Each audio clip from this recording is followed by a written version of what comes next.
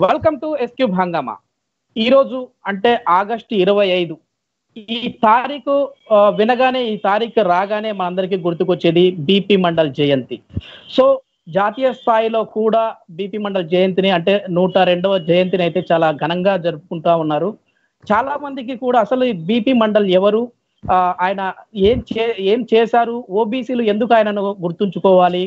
అనేది చాలా మందికి తెలియదు. సో ఈ అంశాల గురించి మనతో మాట్లాడేందుకు జాతీయ స్థాయి బీపీ మండల్ జయంతి ఉత్సవ సమితి కన్వీనర్ మరియు తెలంగాణ హైకోర్టు ప్రభుత్వ న్యాయవాది bar council member Chalakani Venkat Yadav గారు ఉన్నారు. ఆయన అడిగి మరింత సమాచారం తెలుసుకుందాం. సార్ నమస్తే సార్. నమస్కారం నమస్కారం నవీన్ గారు. సార్ బాగున్నారా sir? I'm fine brother. Okay okay sir. Sir మొత్తానికి ఈ రోజు బీపీ మండల్ గారి జయంతి బీపీ మండల్ యాదవ్ గారు.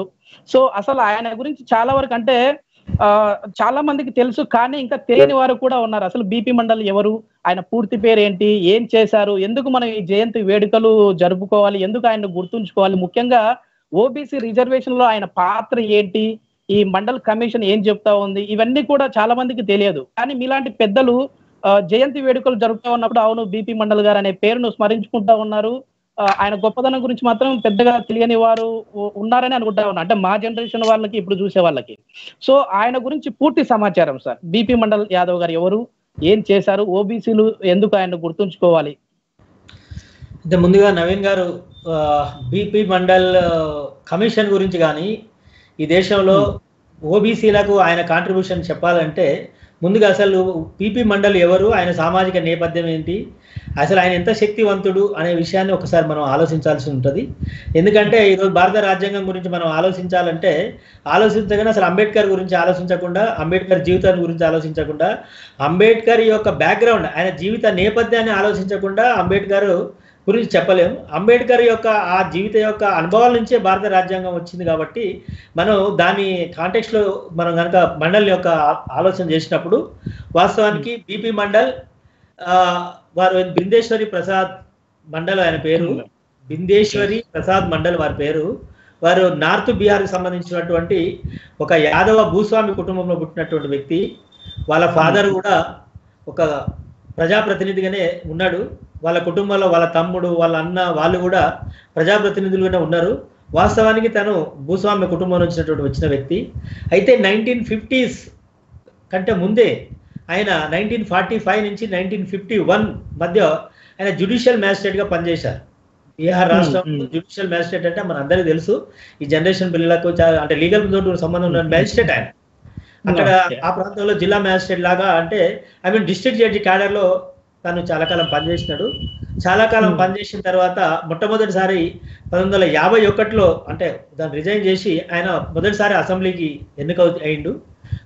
అసెంబ్లీకి కాంగ్రెస్ పార్టీ తరఫున ఎన్నికయిండు ఎన్నికైన తర్వాత అక్కడ బీహార్లో ఉన్నటువంటి పోలీసులు దళితుల మీద అక్కడ బలహీన వర్గాల మీద జరిపినటువంటి దాడులకు వ్యతిరేకంగా అసెంబ్లీలో మాట్లాడుతున్నప్పుడు ఆనాటి ముఖ్యమంత్రి ఉండి లేదు లేదు ప్రభుత్వంలో ఉన్నటువంటి మీరు మన పోలీసుల గురించి మాట్లాడితే ఎలాగో అని ఆయన ఆపినప్పుడు లేదు నేను పోలీసుల యొక్క దుశ్చర్యల గురించి మాట్లాడకున్నప్పుడు నా జాతి గురించి నేను మాట్లాడే అవకాశం అసెంబ్లీలో లేనప్పుడు నేను అసెంబ్లీలో ఉండడం అనవసరం అని చెప్పి తను రాజీనామా చేసి బయటికి వెళ్ళిపోయి socialist socialist socialist socialist party అని ఒక సోషలిస్ట్ పార్టీలో జాయిన్ అయ్యి అక్కడ నామమాత్రంగా ఉన్న సోషలిస్ట్ పార్టీని మీకు చాలా అద్భుతంగా తన ఎన్నికల ప్రచారం చేసి తను సీఎం అంటే అరవై తొమ్మిది సీట్లకు తీసుకొచ్చి తీసుకొచ్చి కాంగ్రెస్ మద్దతుతో మొదటిసారిగా బీహార్లో ఒక బీసీ ముఖ్యమంత్రిగా ఓబీసీ ముఖ్యమంత్రిగా తను ఏడవ బీహార్ ముఖ్యమంత్రిగా అయిండు.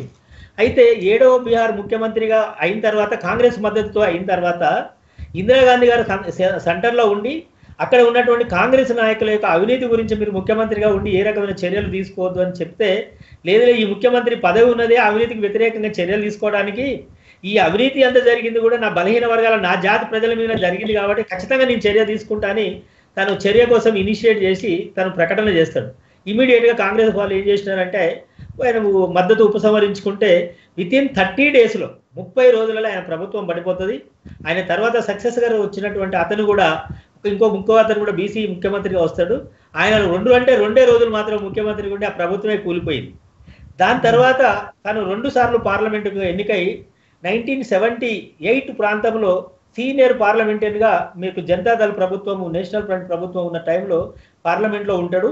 అయితే మురార్జీ దేశాయ్ గారు ఆ రోజు ఏం చేశాడంటే నీకు నేను కేంద్ర మంత్రి పదవి ఇవ్వాల్సింది నేను బీపీ మండల్ ఇవ్వలేకపోయినా కానీ ఈ మండల్ ఒక కమిషన్కి నేను చైర్మన్గా చేస్తా ఉన్నాను.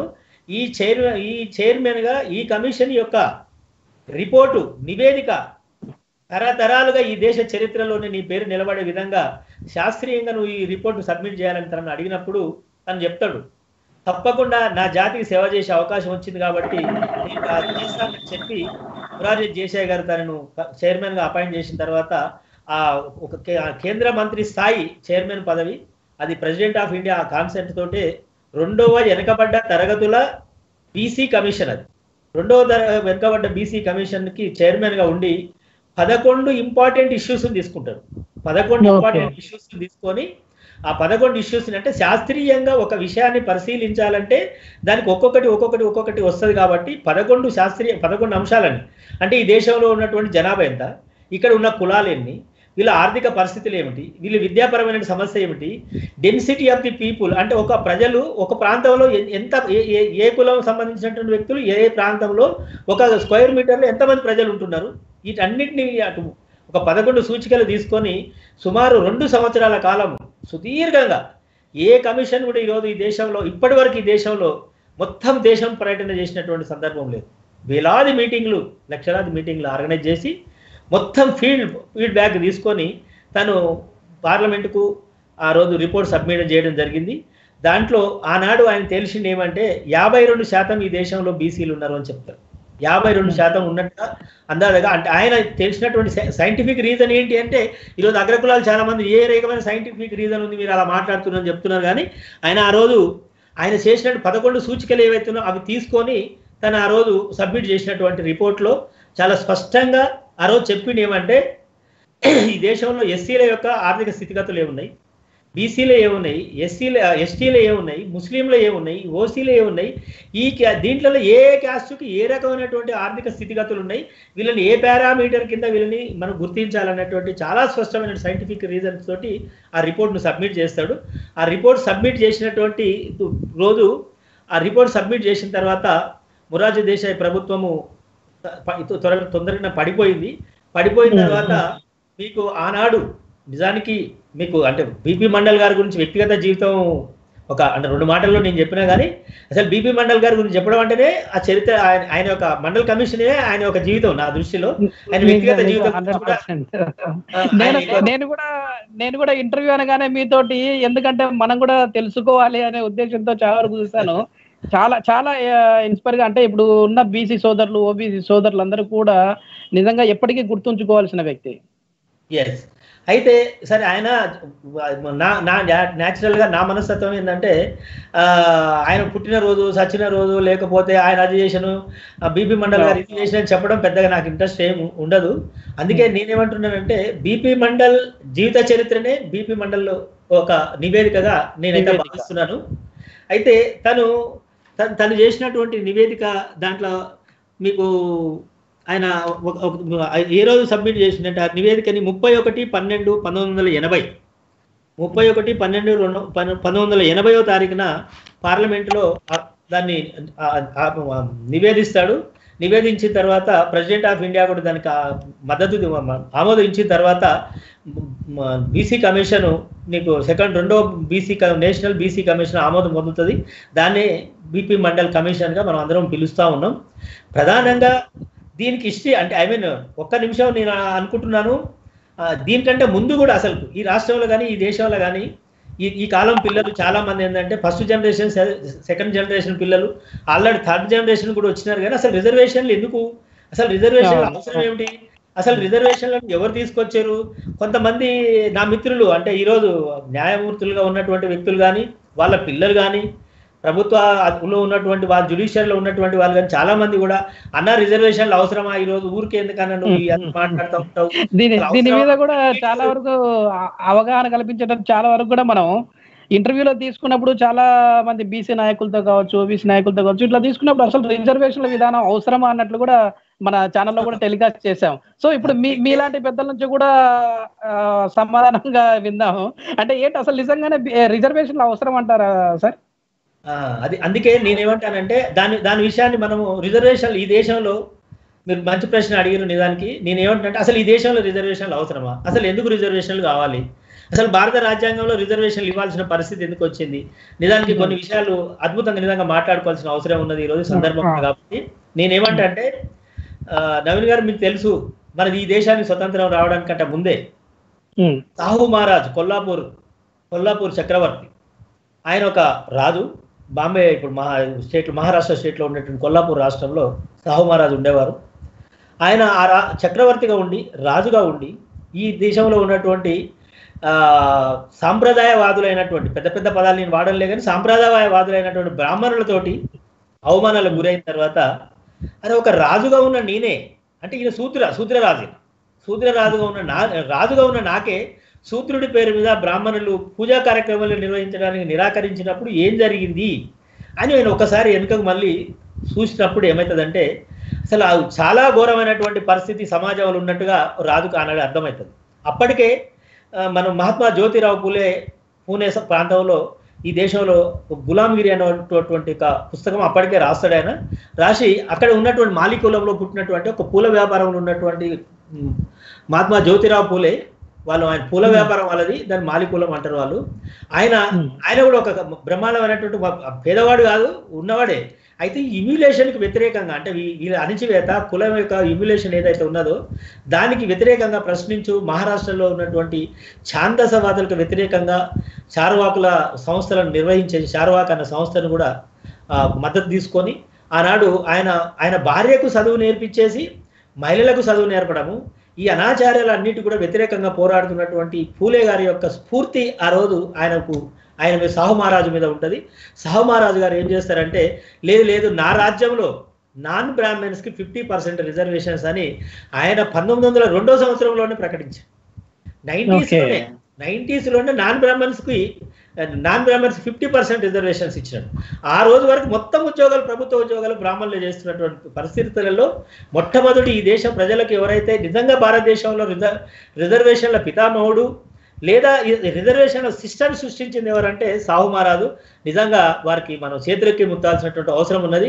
ఆయన సాహు మహారాజు ఆ రోజు చేసినటువంటి గొప్ప కార్యం ఏమంటే ఆయన ఆ రోజు హాస్టల్స్ పెట్టిండు. విశ్వ విశ్వవిద్యాలయాలు పెట్టిండు స్కూల్స్ పెట్టిండు మహిళా విద్య పెట్టిండు వితంతు విద్య పెట్టిండు ఆ హాస్పిటల్స్ పెట్టిండు.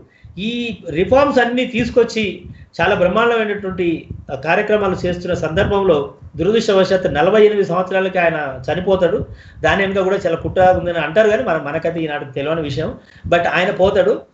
ఆయన పోయిన తర్వాత మనకి ఈ రిజర్వేషన్లకు సంబంధించినటువంటి ఎందుకు తీసుకోవాల్సి వచ్చిందో ఆయన ఆ రోజు రిజర్వేషన్లు అంటే వందకు వంద శాతం ఒకే కులం వాళ్ళు అనుభవిస్తూ మిగతా వాళ్ళని సమాజంలో నెట్టివేస్తూ ఆర్థికంగా రాజకీయంగా సాంస్కృతికంగా అణిచివేస్తున్నటువంటి దాని నుంచి బయటికి తీసుకురావడం కోసం ఆ రోజు ఆయన తీసుకుంటాడు అయితే మనం straight గా ఇంత పెద్ద డీటెయిల్ అవసరం లేదు కాబట్టి straight గా నేను ఎక్కడికి వస్తానంటే మన దేశంలో బ్రిటిష్ ఇండియాలో కూడా మనకు రిజర్వేషన్స్ ఉండే బ్రిటిష్. ఇండియాలో కూడా ఏంటంటే వాళ్ళు ఈ- దేశంలో ఉన్నటువంటి అగ్రవర్ణాలు ఎవరైతే ఉన్నారో ప్రధానంగా బ్రాహ్మణులు వైశ్యులు కొంతమంది బ్రిటిష్ వాళ్ళ దగ్గర వాళ్ళు నటిస్తూ వాళ్ళ దగ్గర మంచిగా ఉంటూ ఈ దేశంలో ఉన్నటువంటి ఆచారాలు ఏవైతే ఉన్నాయో వాటిని కాపాడుకోవడం కోసము బడుగు బలహీన వర్గాలని వాళ్ళు అణచివేస్తూ వాళ్ళ కాలం నడుపుకుంటూ నడుపుకుంటూ వస్తున్న సందర్భంలో బ్రిటిష్ వాళ్ళు కూడా ఏం చేసినారంటే లేదు లేదు ఈ దేశంలో మొత్తం పాలన యంత్రాంగం మొత్తం కూడా ఒక కులం మీద ఆధారపడాల్సి వస్తూ ఉంది మనము. కాబట్టి లేదు కొంత మార్పు తీసుకురావాలనే ఉద్దేశంతో బ్రిటిష్ ఇండియాలో కూడా వాళ్ళు మిగతా మిగతా మాలాంటి వాళ్ళకి మీలాంటి వాళ్ళకి కొంతమంది చదువు నేర్పడం కొన్ని ఉద్యోగాలు ఇవ్వడం కొంత రిజర్వేషన్ సదుపాయాలు కల్పించడం వాళ్ళు చేసినారు. దీనికి వ్యతిరేకంగానే ఈ దేశంలో బ్రాహ్మణులు అనేక ఉద్యమాలు చేసినారు. మళ్ళీ ఆ ఆ ఉద్యమాల చుట్టుకు పోతే అది కాంట్రవర్సీ అవుతుంది కానీ వాళ్ళు దాని వ్యతి మనకు బలుగు బలహీన వర్గాలకు ఎస్సీ ఆ సూత్రులు అతి సూత్రులు అన్నాడు. సూత్రులు అంటే. బీసీలు అతి సూత్రులు అంటే ఎస్సీలు. సో సూత్రులకు అతి సూత్రులకు అవకాశాలు కల్పిస్తారా అనేసి ఈ దేశంలో ఉద్యమాలు చేసినటువంటి పెద్ద జాతీయ నాయకులు ఈ దేశంలో ఉన్నారు. అది దురదృష్టం. ఇప్పుడు మనం మాట్లాడని సందర్భం కాదు కానీ దాని తర్వాత మన కాంటెక్స్ట్లోకి వస్తే ఆంధ్రప్రదేశ్ రాష్ట్రం ఏర్పడడానికంటే ముందే నైన్టీన్ ఫిఫ్టీ త్రీ ప్రాంతంలో కూడా నిజాం స్టేట్లో ఫోర్ పర్సెంట్ రిజర్వేషన్స్ ఉండే. ఫోర్ పర్సెంట్ రిజర్వేషన్స్ నిజాం రాష్ట్రంలో నూట పద్దెనిమిది కులాలు తెలంగాణ స్టేట్ నిజాం స్టేట్స్లో ఉండే. నిజాం స్టేట్లో ఉన్నటువంటి వాళ్ళకు నాలుగు శాతము బ్యాక్వర్డ్ క్లాసెస్కు రిజర్వేషన్స్ ఇస్తూ ఉండే. దాని తర్వాత రాష్ట్రం ఏర్పడిన తర్వాత మన రాష్ట్రంలో కూడా రిజర్వేషన్స్ ఇవ్వాలి అనుకున్నప్పుడు జరిగినటువంటి దాంట్లో చాలా కోర్టు కేసులు మంచి చేయడాన్ని జరిగిన తర్వాత మీకు అన్నిటికంటే ముఖ్యమైన కమిషన్ ఆంధ్రప్రదేశ్లో అనంతరామన్ కమిషన్. అనంతరామన్ కమిషన్ బీసీలకు రిజర్వేషన్ ప్రపోజ్ చేస్తుంది. దాని కోర్టుకు పోతే దాన్ని కూడా కొట్టేసినారు. అనేక తీర్పులు వచ్చినాయి దాని మీద కూడా. దాని తర్వాత అన్నిటికంటే నైన్టీన్ ఎయిటీ సిక్స్లో మురళీధరరావు కమిషన్ ఒకటి వేస్తారు. ఎన్టీ రామారావు గారు. ఎన్టీ రామారావు గారు ఇచ్చినటువంటి కమిషన్లో ఇరవై ఏడు శాతం ఇరవై ఐదు శాతం ఉన్న బీసీ రిజర్వేషన్లని నలభై నాలుగు శాతానికి ఎన్టీఆర్ గారు ప్రకటించినప్పుడు నలభై నాలుగు శాతం రిజర్వేషన్లు ఎలా ఇస్తారు అని చెప్పేసి చాలా పెద్ద ఎత్తున మన దగ్గర ఆందోళన జరిగింది. నా ఎయిటీ సిక్స్లో నేను ఆ రోజు నల్గొండ డిగ్రీ కాలేజీ విద్యార్థి సంఘం అధ్యక్షుడిగా ఉంటిని. కేవలం ఆనాడు రిజర్వేషన్లకు వ్యతిరేకంగా కొట్లాడినటువంటి వ్యక్తులతోటి రిజర్వేషన్లకు మద్దతుగా కొట్లాడినందుకే నేను నిజంగా ఆ రోజు విద్యార్థి సంఘం అధ్యక్షుడిగా అంత పెద్ద కాలేజీలో ఐదు వేల మంది విద్యార్థి సంఘం ఎన్నికలు కూడా గెలవడం జరిగింది. సో అంటే ఆనాడు చాలా సీరియస్గా ఈ రోజు ఉన్న పిల్లలకు ఈ రోజు ఉన్నటువంటి వాళ్ళకి చాలా మాలాంటి వాళ్ళు ఒక్కరిద్దరమే ప్రతి నిత్యము మేము ప్రతినిత్యము ఎంత ఆవేదన గురయ్యే వాళ్ళము ఎంతో ఇబ్బందులు పడి ఆ రోజు ఆ రిజర్వేషన్ విధానాన్ని కాపాడుకొని ట్రై చేసినాం. బట్ నలభై నాలుగు శాతం రిజర్వేషన్ మాత్రం కాపాడలేకపోయినా. ఎందుకు అంటే న్యాయ వ్యవస్థకు పోవడము కోర్టులకు పోవడము అందరూ వాళ్ళకి సంబంధించిన వాళ్ళు ఉన్నారు కాబట్టి ప్రభుత్వము వాళ్ళు. రిపోర్ట్ సబ్మిట్ చేయలేదు. శాస్త్రీయమైనటువంటి విధానం లేదు. శాస్త్రీయంగా వాళ్ళు ఏ రకమైనటువంటి మెటీరియల్ సబ్మిట్ చేయలేదు కాబట్టి కేసులను కొట్టివేయబడ్డాయి కాబట్టి ఈరోజు కోర్టులను కూడా నిందించి లాభం లేదు. పాలనలో ఉన్నటువంటి పాలక వర్గాలే ఈరోజు దానికి ప్రధాన కారకులు కాబట్టి ఆ రిజర్వేషన్ నలభై నాలుగు శాతం నుంచి మళ్ళీ ఇరవై ఐదు శాతానికి ఈ రాష్ట్రంలో రావడం జరిగింది. అయితే దేశ స్థాయికి పోయినప్పుడు మీకు ప్రధానంగా ఏంటంటే ఇండియన్ కాన్స్టిట్యూషన్ వచ్చినప్పుడు అంబేద్కర్కి అదేవిధంగా బీపీ మండల్కి మనం పోల్చలేము కానీ అంబేద్కర్ అనేది అది చాలా పెద్ద విషయం. ఎందుకంటే. మొత్తం దేశానికి సంబంధించినటువంటి. ప్రపంచానికి సంబంధించినటువంటి కాంటెక్స్ట్లో ఆయన రాసినాడు. కానీ ఓబీసీలకు వచ్చినప్పుడు ఓబీసీలకు సంబంధించినప్పుడు రిజర్వేషన్స్ని ప్రపోజ్ చేసింది. అది శాస్త్రీయంగా ప్రపోజ్ చేసింది. అది బీపీ మండల్ గారి యొక్క శాస్త్రీయ దృక్పథం మూలంగానే సుప్రీంకోర్టు కూడా బీపీ మండల్ నివేదికని తిరస్కరించలేకపోవడం అనేది బీపీ మండలి యొక్క గొప్పతనం.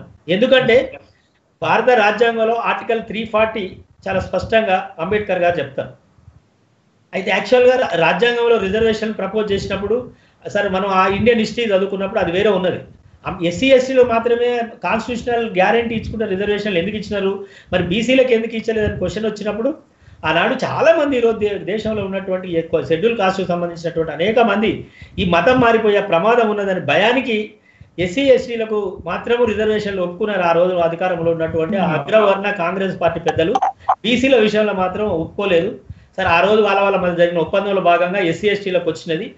అంబేద్కర్ ఆ నిమిషంలో ఆలోచన చేసి ఏం చేస్తారంటే లేదు లేదు వీళ్ళకు ప్రొటెక్షన్ కావాలని ఆర్టికల్ త్రీ ఫార్టీని ఒకదాన్ని ఆర్గనైజ్ చేస్తారు.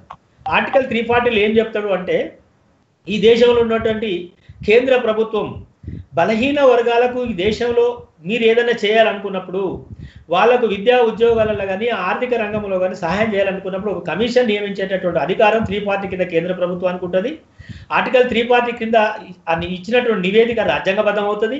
కాబట్టి ఆ నివేదికను అమలు చేయాల్సిన బాధ్యత ప్రభుత్వాలకు ఉంటుందని చెప్పి అంబేద్కర్ ఈ రకంగా అవతల వాళ్ళు ఒప్పుకోనప్పుడు ఇంకో రకంగా తీసుకొచ్చి త్రీ పార్టీని ఇంట్రడ్యూస్ చేయడం మూలంగా మీకు తెలుసు ఆనాడు అఖిల భారత యాదవ మహాసభ లాంటి అనేక కుల సంఘాలు జాతీయ స్థాయిలో ఉన్నటువంటి కొన్ని సంఘాల నాయకులందరూ కూడా కొట్లాడటం మూలంగా కాకా కాలేల్కర్ కమిషన్ మొదటి బీసీ కమిషన్ జాతీయ స్థాయిలో వేస్తారు. దానికి కారణం ఏంటంటే ఆనాడు పార్లమెంటులో అంబేద్కర్ అడుగుతాడు బీసీల కోసం త్రీ ఫార్టీ ఆర్టికల్ నేను పెట్టినా మరి కమిషన్ ఎందుకు వేయట్లేరు అని అడుగుతాడు. అదే మహిళల కోసం హిందూ కోడ్ బిల్లు నేను తీసుకొస్తున్నా. దాన్ని ఎందుకు ఇంట్రడ్యూస్ చేయట్లేదు అని అడిగినప్పుడు నెహ్రూ ప్రభుత్వం అంబేద్కర్ని తీవ్రంగా వ్యతిరేకిస్తుంది. అసోంటప్పుడు హిందూ కోడ్ బిల్లు మహిళలకు మద్దతుగా ప్రవేశపెట్టలేనప్పుడు బీసీల కోసం త్రీ పార్టీ ఆర్టికల్ నేను అమలు చేయలేనప్పుడు నేను న్యాయశాఖ మంత్రిగా ఉండడం అనవసరం అని చెప్పి ఆయన రాజీనామా చేసి దేశవ్యాప్త ప్రకటనకి ఎప్పుడైతే బయలుదేరుతాడో. దేశవ్యాప్త పర్యటనకు అంబేద్కర్ పోతున్నాడని భయానికి ఆనాడు నెహ్రూ ప్రభుత్వం ఫస్ట్ నేషనల్ బీసీ కమిషన్ కాకా కాలేల్కర్ అనే ఒక బ్రాహ్మణుడి అది అది మన అది ఒక మహారాష్ట్రకు సంబంధించినటువంటి బ్రాహ్మణుడి నాయకత్వాన్ని కమిషన్ వేస్తారు. ఆ ఆ కాకా కాలేల్కర్ రిపోర్ట్ కూడా చాలా పెద్ద రిపోర్టు. వాళ్ళు కూడా రిపోర్ట్ సబ్మిట్ చేసినారు. నిజంగా నవీన్ గారు మనం ఎంత ఆశ్చర్యపోవాలి మన జాతీయ అంటే బలహీన వర్గాలు ఈ దేశంలో ఎంత అన్యాయంగా ఉన్నారు రాజకీయంగా అని ఆలోచించినప్పుడు. నిజంగా కాకే కాలన్కర్ రిపోర్ట్ సబ్మిట్ చేస్తే నెహ్రూ ఆనాడు Rajendra Prasad president of India prime minister of India ఇద్దరు పిలిచి ఆ క- కమిషన్ చైర్మన్ చివాట్లు పెట్టి అసలు నిన్నేదో కా కా- కాలం గడుపుకోమని కమిషన్ చైర్మన్ వేసి ఇంత పెద్ద రిపోర్ట్ ఎందుకు ఇచ్చిన అని తిడితే ఆయన పదిహేను పేజీల ఉత్తరం రాస్తాడు. ఏమనంటే ఈ కమిషన్ నివేదికని అమలు చేయడానికి వీలు కాదు మెంబర్లందరూ ఒత్తిడి చేస్తే నేను ఈ నివేదిక సంబంధించిన అంటాడు. దాని తర్వాత అనేక సంఘటనలు జరుగుతాయి. ఆ సంఘటనల నేపథ్యంలో నేషనల్ గవర్నమెంట్ రావడం కానీ అన్నిటికంటే ఈ దేశంలో బీసీలు కానీ మన వాళ్ళందరూ కూడా ఈ ఓబీసీలు కానీ ఎస్సీలు కానీ అందరూ కూడా గుర్తించుకోవాల్సిన వ్యక్తి మరొక వ్యక్తి ఉన్నాడు ఆయన కన్సీరామ్ ఈ దేశంలో మీకు నైన్టీన్ ఎయిటీ నైన్ ఆ ప్రాంతంలో కన్సీరామ్ ఢిల్లీలో బోర్డ్స్ క్లబ్ దగ్గర నలభై ఎనిమిది రోజులు ధర్నా చేసింది నేను కూడా హైదరాబాద్ నుంచి ఆ ధర్నా కార్యక్రమంలో పాల్గొనడానికి నేను కూడా ఢిల్లీ పోయిన వ్యక్తులలో చాలా మందిలో నేను కూడా ఆనాడు ఉన్నాను. అయితే ఒకటే అడిగిన కన్సీరామ్ మండల్ నివేదికను అమలు చేస్తారా కుర్చీ ఖాళీ చేస్తారా? లేదా మాకు కుర్చీ ఇవ్వండి మేము మండల్ కమిషన్ అమలు చేస్తామని చాలా స్పష్టంగా కన్సీరామ్ నినదించడం విపి సింగ్ ప్రభుత్వంలో ఉన్నటువంటి లుకలుకలు వాళ్ళ మధ్య గొడవలు వచ్చేటువంటి ఆయన శరణ్ సింగ్ రాజీనామా చేసి బయటకు వచ్చి అది ఆగస్టు తొమ్మిది పంతొమ్మిది వందల తొంభైవ తారీఖు నాడు ఢిల్లీలో చాలా పెద్ద ఎత్తున దేశవ్యాప్త సమ్మె పిలుపునిచ్చి ఒక ధర్నా పెడతారు ఆనాడు. తప్పనిసరి పరిస్థితిలో విపి సింగ్ రెండు రోజుల ముందు అంటే ఏడవ తారీఖు నాడు ఏడు ఎనిమిది పంతొమ్మిది వందల తొంభై నా పార్లమెంటులో నలభై సిఫార్సులు చేస్తే బిపి మండల్ గారు. ఒకే ఒక సిఫార్సు అది ఇరవై ఏడు శాతము ఓబీసీలకు కేంద్ర ప్రభుత్వ సర్వీసులలో రిజర్వేషన్ ప్రకటిస్తారు. ప్రకటించిన తర్వాత చాలా పెద్ద ఎత్తున ఈ దేశంలో ఈ చాలా అంటే చాలా పెద్ద ఎత్తున దేశంలో ఈరోజు రోజు ఉన్నట్టు అధికార party Congress BJP CPM CPI అన్ని పార్టీలలో ఉన్నటువంటి అగ్రకులాలకు సంబంధించినటువంటి వ్యక్తులు అవి ఒక రకంగా అగ్రకులాల పార్టీలే కాబట్టి పెద్ద ఎత్తున ఆందోళన చేసి వాళ్ళ విద్యార్థి సంఘాలను ముందుండి నడిపించేసి రిజర్వేషన్లకు వ్యతిరేకంగా ఆందోళన చేయడం అది ఆఖరికి సుప్రీంకోర్టులో కేసు వేస్తే ఇందిరా సహాని అని వాళ్ళ కార్యకర్తనే. ఈ రోజు ఉన్నటువంటి అధికారంలో ఉన్న ఒక రాజకీయ పార్టీకి సంబంధించిన కార్యకర్త ఆమె ఆమె పేరు మీద అక్కడ కేసు వేస్తారు. ఆ కేసు వేస్తే ఇది ఎంత అద్భుతము. ఇక్కడ మనం గుర్తించాల్సింది ఏంటంటే బీపీ మండలి యొక్క గొప్పతనాన్ని ఇక్కడ అందుకే మరోసారి చెప్పబోతున్నా. అనేక మంది లార్జర్ బెంచ్ కాన్స్టిట్యూషనల్ బెంచ్లో కూడా తొమ్మిది మంది జడ్జీలు కూడా పరిశీలన చేసిన తర్వాత బీపీ మండలి ఈ దేశంలో ఐదు వేల నూట పదమూడు ఐదు వేల పదమూడు కులాలని అన్నాడు ఆయన రికగ్నైజ్ చేసినాడు. ఇరవై ఏడు శాతం రిజర్వేషన్ ఇచ్చినాడు. ఫిఫ్టీ టూ పర్సెంట్ వీళ్ళు ఉన్నట్టుగా పదకొండు సూచికలతోటి ఆయన స్పష్టంగా రిపోర్ట్ ఇచ్చినాడు. ఆ రిపోర్ట్ మొత్తం కూడా తొమ్మిది మంది జడ్జీలు పరిశీలించిన తర్వాత వాళ్ళు చెప్పింది ఏంటంటే లేదు లేదు బీపీ మండలి నివేదిక శాస్త్రీయంగా ఉన్నది. కాబట్టి ఈ రిజర్వేషన్లకు మేము వ్యతిరేకంగా పోలేమని చెప్పి ఫైనల్లీ నైన్టీన్ నైన్టీ టూ డిసెంబర్లో మనకు సుప్రీంకోర్టు తీర్పు ఇస్తుంది. దాన్నే ఇందిరా సహాని కేసు అంటాం. దాంట్లో ఆ తీర్పు వచ్చిన తర్వాత ఫైనల్లీ నైన్టీన్ నైన్టీ త్రీ నుంచి కేంద్ర ప్రభుత్వ ఉద్యోగాలలో ఓబీసీలకు రిజర్వేషన్లు ఇరవై ఏడు శాతం అమలు అవుతున్నది కానీ నవీన్ గారు ఎంత దురదృష్టం అంటే ఈ దేశంలో తొంభై మూడు నుంచి ఇరవై ఐదు శాతం రిజర్వేషన్లు అమలు అవుతున్నాయి అంటున్నారు. కానీ నేటికి కేంద్ర ప్రభుత్వంలో ఓబీసీలు పదహారు శాతం దాటలేదు. ఇది ఎంత ప్యాథటిక్ కండిషన్ చూడండి. అదే విద్యా సంస్థలకు వచ్చేటప్పటికి రెండు వేల ఎనిమిది వరకు అనేక రకాల కేసులు రాజకీయ రాజకీయంగా కూడా చాలా వరకు బీసీల ఓబీసీలు వెనుకబాటుగానే ఉన్నారు అంటూ కూడా తెలుస్తానే ఉంది. అయితే ఈ కమిషన్లో ఈ కమిషన్ నలభై దానికి సంబంధించి ఒక నిమిషం మా అడి- గురించి ఒక నిమిషం మీకు ఎక్స్ప్లెయిన్ చేస్తాను. అది కూడా వన్ మినిట్లో చెప్పేస్తాను. అది కూడా నలభై కమిషన్లు అది కూడా ఒకటి ఉన్నది. అయితే రెండు వేల ఎనిమిదికి వచ్చేటప్పటికి అనేక కేసులు అనేక అవరోధాలు దాటుకుంటూ దాటుకుంటూ ఉన్నత విద్యా సంస్థలలో కేంద్ర ప్రభుత్వ స్థాయిలో ఉన్నత విద్యా సంస్థ ఐఐఎం ఐఐటి లాంటి వాటిలలో ఇరవై ఏడు శాతం రిజర్వ్ రిజర్వేషన్లు ఇవ్వటం మూలంగా రెండు వేల ఎనిమిది నుంచి రిజర్వేషన్లు వస్తున్నాయని మనం అందరం అనుకుంటున్నాం. రెండు వేల ఎనిమిది నుంచి ఇప్పుడు రెండు వేల ఇరవైకి వచ్చినాం. అంటే పన్నెండేళ్ళైంది ఉన్నత విద్యా సంస్థలో రిజర్వేషన్లు వచ్చి. అయినా ఈరోజు పన్నెండు శాతము ఓబీసీ విద్యార్థులు కేంద్ర ఉన్నత విద్యా సంస్థలలో లేరు. మరి ఎక్కడ పోతున్నాయి ఈ సీట్లన్నీ? ఇది అసలు అసలు ప్రధాన సమస్య ఇక్కడ ఇక్కడ ఉన్నది. అయితే మరి మండల్ కమిషన్ సంబంధించినటువంటి మిగతా ముప్పై తొమ్మిది ఏమున్నాయి? అసలు ప్రతి ఒక్కటి నలభై నివేదికలో నలభై రకాల రికమెండేషన్లు ఉన్నాయి. ఇది ఒకటి మాత్రమే అని మాట్లాడుతున్న మిగతా సంగతి ఏంటని చాలా మంది మన పిల్లలు.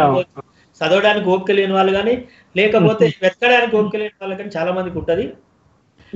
ఈపీ మండల్ చాలా స్పష్టంగా చెప్పింది ఒకటి ఏమంటే ఈ దేశంలో ప్రభుత్వ ఆర్థిక సహాయంతో ప్రభుత్వం యొక్క ప్రోత్సాహంతో నడుస్తున్నటువంటి కేంద్ర రాష్ట్ర ప్రభుత్వాల స్థాయిలో ఉన్నటువంటి అన్ని ప్రభుత్వ ప్రైవేటు సంస్థలలో ఓబీసీలకు ఎస్సీ ఎస్టీలకు రిజర్వేషన్లు ఇవ్వమని చెప్పాడు. అదేవిధంగా ఆర్థిక స్థితిగతిని మెరుగుపరచడానికి ఈ దేశంలో యాభై రెండు శాతంగా ఉన్నటువంటి బీసీలు బాగుపడకుంటే ఈ దేశం ఎట్లా బాగుపడదు? ఈ దేశం బాగుపడుతుంది అంటే ఎట్లా బాగుపడుతుంది? ఐదు శాతం ఉన్న వాళ్ళంతా ధనవంతులైనప్పుడు దేశం బాగుపడదు కాబట్టి యాభై రెండు శాతం ఉన్నటువంటి జనాన్ని బాగు చేస్తేనే ఈ దేశం బాగుపడుతుంది కాబట్టి